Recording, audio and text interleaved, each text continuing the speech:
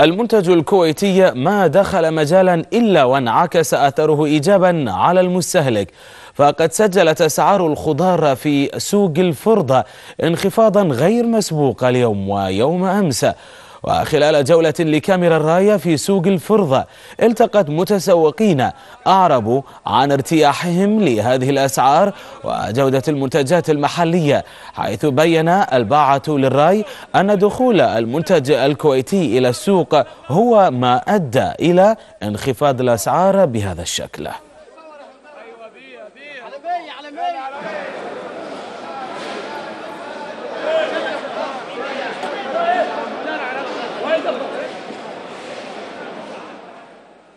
الأسعار رخيصة. بس على مود ما يكون الغش الغش موجود. الغش موجود. فوق يحطوا لك الشيء الزين وتحت له. الطماطم رخيصة. وايد رخيصة الطماطم. والله كل المنتج يعني موجود زين الحين. هالأيام هذه كل شيء رخيص وكل شيء زين. المنتجات الكويتية الطماط رخيص. والخيار رخيص. اسمع الحين قاعد يقول لك الخمسة بدينار. وخمسة الخيار وستة خيار بدينار.